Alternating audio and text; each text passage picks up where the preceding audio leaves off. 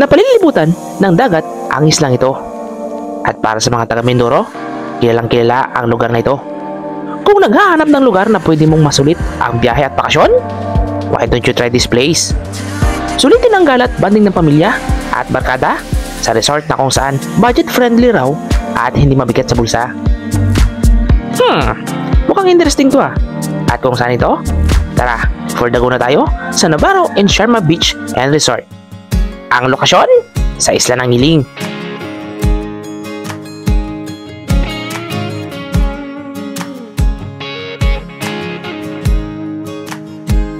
Look at all the stars out, no doubt I'm loving this time of year. Kung galing sa bayan ng San Jose, sasakay na bangka, mahigit isang oras ang biyahe papuntang isla. At kung hindi maalon, aabutin lang ng kalating oras ang biyahe ng bangka papuntang isla. Girl. Bago sumakay ng bangka, syempre, magsuot ng life jacket for your safety. At ilagay sa maayos ang mga gamit upang maiwasan itong hindi mabasa.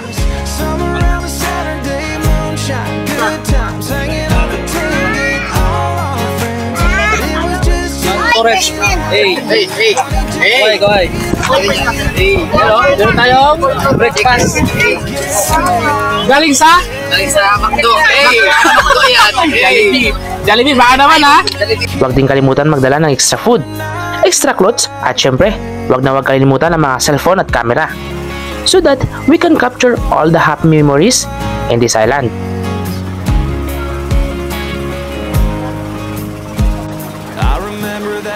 At dahil hindi ganong kalakas ang alon, inabot lamang ng kalahating oras, narating na rin namin ang aming destinasyon.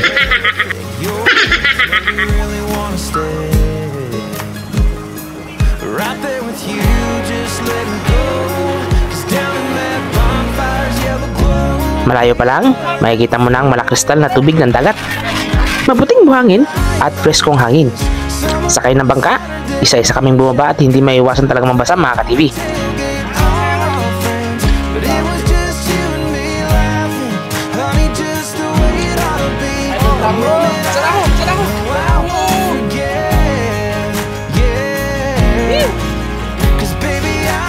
Right back in that kiss. Ah, ako si Brian Navarro Reyes, ah, isa sa developer ng ah, Baclayan Island.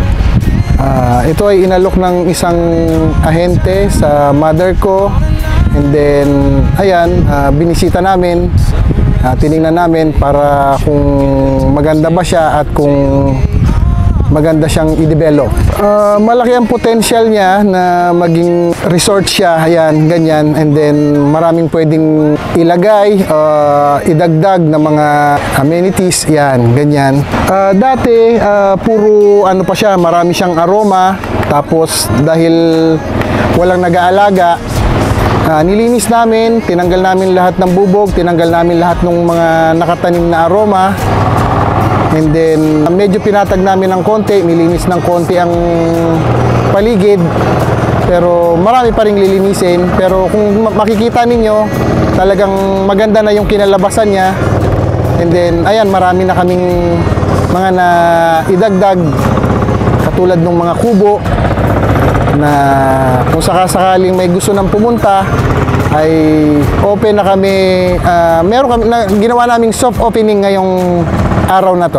Ah, siguro after nung nabili namin siguro mga December 31 2023 and then ayun ah, after ng January binisita na namin ng ilang beses tapos ayun nililinis na namin. Marami kaming gustong idagdag. Una more cottages and then magpapagawa kami ng ah, court basketball court volleyball court and then siguro kung hopefully ah, maganda-ganda ang kalalabasan ah, magpapatayo tayo ng building na may ah, pwedeng recreation area and then meron tayong cook ganyan.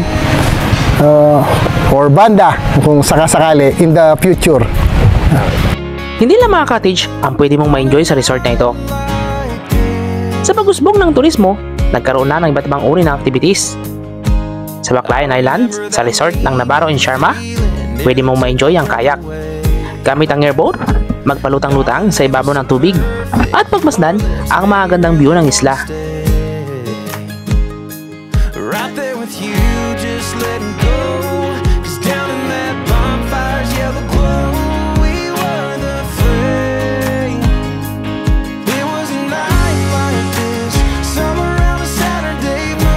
Bukod pa rito, pwede mo rin ma-experience ang underwater activities tulad ng snorkeling.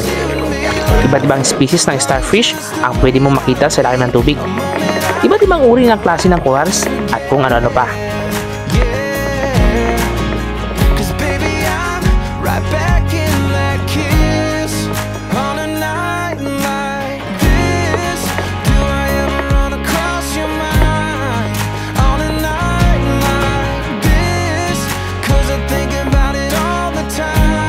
At sa gabi, subukan naman ang bonfire activities. Magpainit sa gilid ng lumiliyab at nagbabakang apoy ng bonfire. Subalit paalala lang mga ka-TV, maging responsable sa paggamit ng apoy o bonfire activities upang maiwasan ang posibleng maging problema kapag hindi tayo nag-ingat sa paggamit ito.